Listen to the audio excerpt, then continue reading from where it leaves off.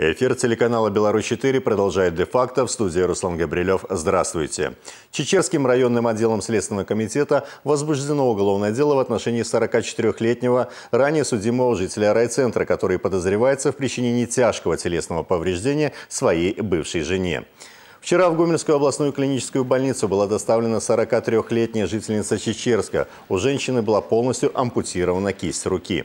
В ходе проведения первоначальных следственных действий установлено, что мужчина, находясь по месту жительства в состоянии алкогольного опьянения, э, вечером 1 февраля э, в ходе возникшего конфликта с его бывшей супругой нанес ей топором удар в область правой руки. В результате произошла ампутация кисти. Мужчина оказал женщине первую медицинскую помощь.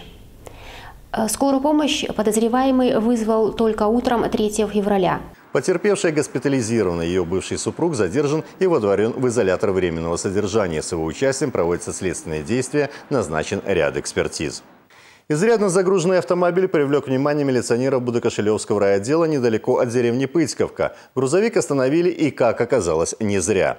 В машине были обнаружены 57 мешков комбинированных кормов для животных. При разрешенной грузоподъемности машины в 1650 килограммов общий вес груза составил почти 2,5 тонны. Документов на товар водитель не предоставил. Владельцем автомобиля оказался 35-летний водитель э, СУП Андреевка, а пассажиром 32-летний сторож склада этого же сельхозпредприятия. Перевозимый комбикорм был похищен ими со склада предприятия, расположенного в агргородке Широкое, с целью дальнейшей реализации. Задержанные с поличным назвали имена еще трех соучастников, а также сторожей сельхозпредприятия, при помощи которых смогли осуществить преступный замысел. Всего в результате проведенных мероприятий по разным адресам изъято 456 мешков различных кормов общим весом свыше 19 тонн, а также 135 литров окрашенного дизельного топлива и 20 литров моторного масла. По данному факту в отношении четырех работников возбуждено уголовное дело. Задержанных по обвинению в краже уже поместили в изолятор временного содержания.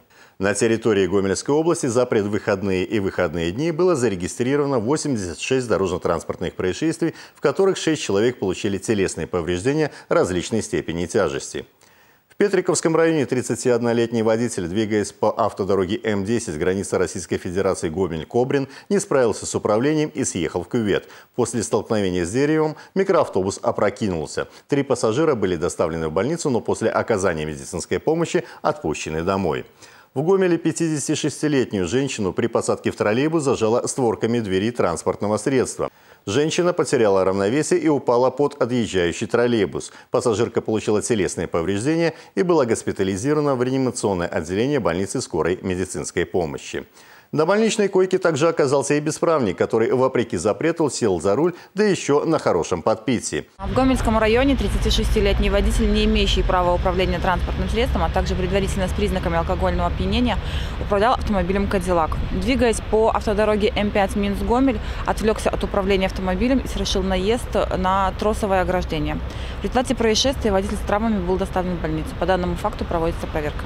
А в Светлогорском районе 34-летний водитель не заметил на дороге велосипедиста. После наезда виновник скрылся с места происшествия, однако в ходе разыскных мероприятий был задержан. Велосипедист сейчас находится в больнице. По всем фактам ДТП проводятся проверки. Субботним вечером спасатели Будокошелевского районного подразделения ликвидировали пожар в деревне Дербичи.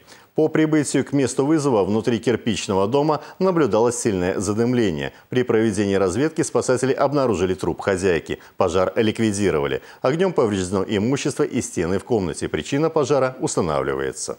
Такой обзор происшествий к этому часу. Оставайтесь с нами и берегите себя. Я Руслан Габрилев. Благодарю за внимание. До свидания.